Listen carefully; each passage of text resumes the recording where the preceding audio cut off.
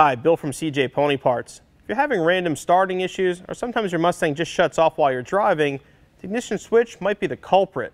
This part can be rather intimidating to install, so we're going to show you step by step how to replace the switch using this Scott Drake piece and our weekend wrench project car.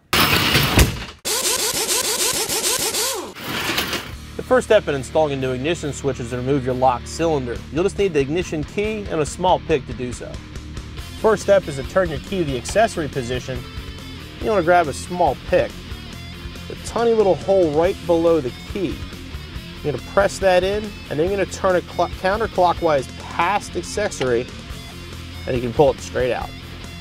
Once you remove the key and the lock cylinder, make sure you're careful not to turn it at all. You want to leave it exactly the same way it was. It'll make it much easier to put it back in the car.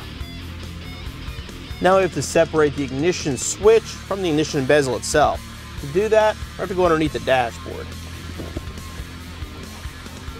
You want to reach up behind and grab the back of the ignition switch.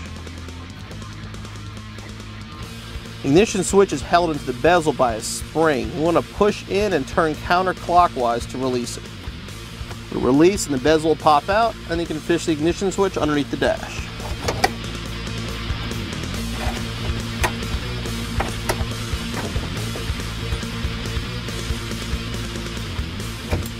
Now remove the retaining nut from the back of the switch.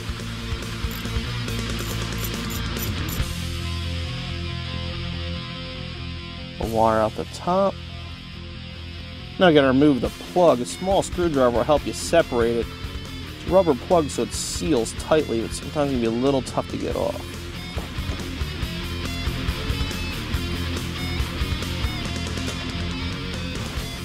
Now we're going to plug in our new switch.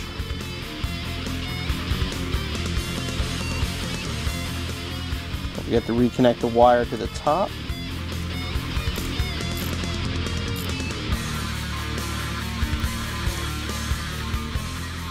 Install our spacer onto our new switch.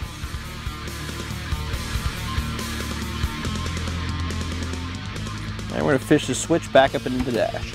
This is probably one of the most difficult parts of the installation. It's going to be hard to see as we do it, so we're going to show you the pieces outside of the car.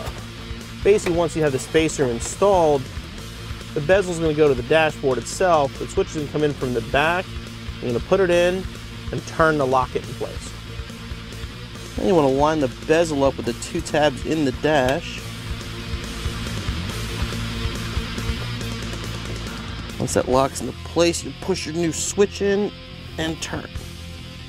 I'm going to reinstall the key the same angle we took it out, but lined up just past accessory.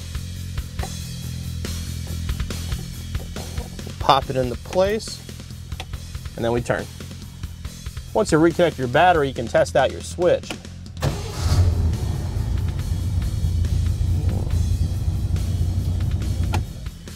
See everything's working like it's supposed to. The hardest part is getting the bezel to line up with the switch itself. Besides that, the whole installation should only take you between 45 minutes to an hour, so you'll be back on the road in no time.